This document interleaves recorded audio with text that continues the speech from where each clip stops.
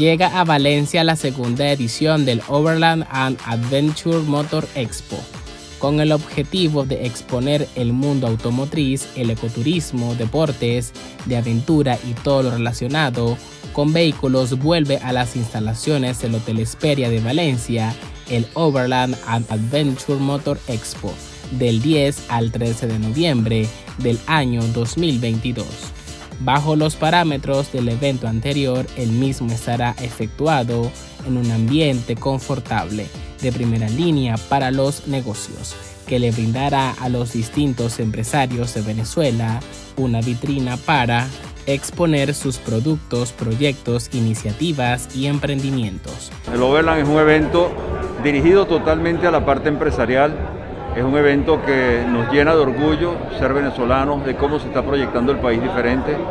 Es un evento que tenemos, falta todavía, porque es en noviembre, del día 10 al día 13, abarca todos los medios, todas las áreas en la parte empresarial. Es un evento corporativo, un evento que está hecho para negocios, un evento que realmente hay que destacar que el país necesita ese tipo de eventos. La expo estará dirigida al mundo corporativo abarcando a los fabricantes, distribuidores y representantes que buscan complacer las altas exigencias de sus consumidores con productos de calidad.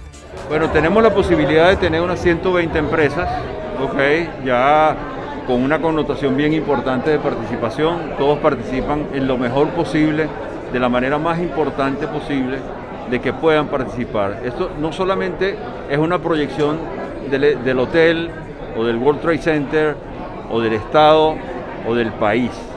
Eso es lo que proyecta. Proyectar algo que se está haciendo diferente, algo que va a abarcar muchísimo. Asimismo, el cobro de las entradas de este evento será destinado para el beneficio del proyecto Niños de la Selva, que va dirigido a etnias indígenas de las selvas de Venezuela. El proyecto Niños de la Selva tiene aproximadamente 25 años y realmente dependimos muchísimo de la entrada del evento, que fue destinada para hacer nuestra última expedición, una expedición de 12 días con una tonelada y media que llevamos. Eh, la Fuerza Aérea, por supuesto, nos ayudó con el avión y es algo muy importante destacar de que nosotros estamos listos y preparados para ayudar al mundo de los niños de la selva y que todo depende también del éxito de este evento. Todos hacen participación de él, inclusive ustedes periodistas que saben cómo es el ayudar. Venezuela hoy en día necesita ayuda. Es muy bonito ver a Canaima, ver a Mérida, ver a los llanos, ver todo, pero detrás de eso también hay gente que necesita ayuda.